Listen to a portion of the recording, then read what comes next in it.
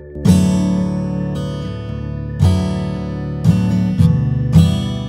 Sedang viral di media sosial TikTok, ibu kandung selingkuh dengan menantu laki-lakinya sendiri. Parahnya lagi si ibu kepergok berzina dengan suami anak kandungnya itu di rumah. Alhasil, keduanya kini kabur. Hal tersebut terungkap dari unggahan video TikTok akun @norma underscore risma pada Selasa 27 Desember 2022.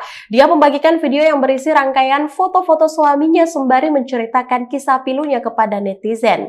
Dalam keterangan disebutkan bahwa orang yang telah melahirkannya itu berselingkuh dan kedapatan bersina dengan suaminya sendiri. Padahal tiga hari sebelum kejadian, menurut norma hubungannya dengan suaminya baik-baik saja.